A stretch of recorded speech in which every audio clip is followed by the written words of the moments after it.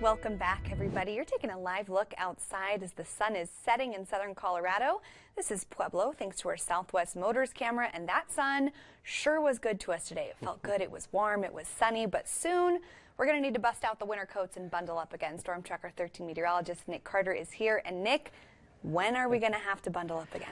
Uh, Later, later, later. We got to think about the holiday weekend first. And a beautiful shot from our ABBA Eye Care Colorado Springs camera should be Sunwear camera because of this brilliant, like a welder's torch sunset. But yes, we will be talking about the winter clothing.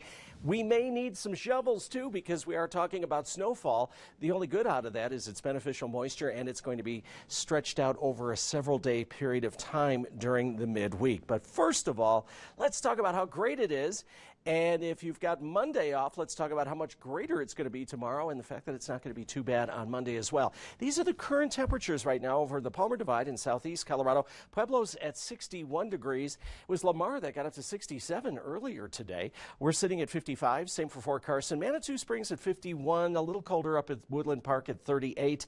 And Florissant's uh, current temperature around 40. Most of the mountain locations enjoying a lot of sunshine. The skiers and snowboarders had a great time too. And if you like doing that, kind of stuff, we get some really good news. Some of the snow headed our way is really going to be burying parts of the central and southern high country. Right now, 55, and the winds, they're light. They're out of the east at 9 miles per hour, but they're going to get a little stronger tonight. So if you're stepping out, make sure you got that winter coat because our temperatures are going to be well below freezing. Satellite and radar time lapse, very quiet for much of the nation, but look up Yar up towards Seattle, Portland. See that band of clouds that's starting to move in? That's the first wave of extremely cold air that's heading southeast. It's going to be drawing a bullseye right over central Colorado over the next 48 hours. This is what our futurecast is showing.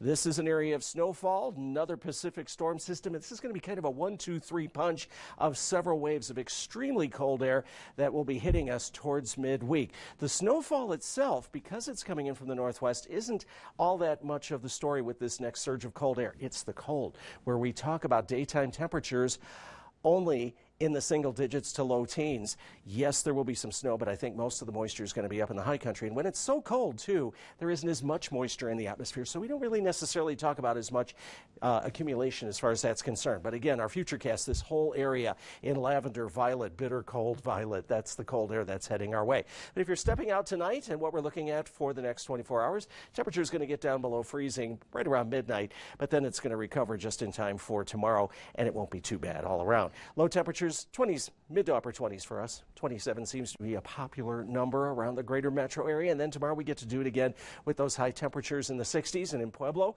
you're probably going to hit 67 degrees, which is really kind of nice. But as far as our forecast going for the next seven days, let's talk about Tuesday and Wednesday, where the daytime temperatures for Woodland Park reach the mid teens. Overnight, the low temperatures are going to be below zero. Too early to be calling for snowfall amounts, but Woodland Park, you're probably going to get about six to eight inches of snowfall by Thursday when everything starts to move out. But we keep those temperatures at or below freezing for the rest of the week. Cañon City 61 for tomorrow, Monday, President's Day 55, 20s for daytime temperatures for midweek, and light snow each day. Pueblo's high temperature tomorrow 67. Oh, what a great place to be for tomorrow. Monday's high. And if you've got the day off Monday, make the best of it. 57, getting kind of windy in the evening. Tuesday, Wednesday, and Thursday, those daytime temperatures barely reaching the mid 20s and light snow each day. And that's what we're expecting here for Colorado Springs. In fact, Monday, probably going to reach only 48, and that's going to be around lunchtime. Then steadily falling temperatures with overnight lows near zero for Tuesday and Wednesday, two to five inches of snow right here by Thursday, and then a chilly next weekend. West of I 25 could be more, and the central and southern mountains could get up to one to two feet of snow, if not more. Stay tuned. We'll give you more information as we get more uh, information right down in our weather center. Right now, back to you guys. Rob? All right. Thank you for that, Nick. Coming up,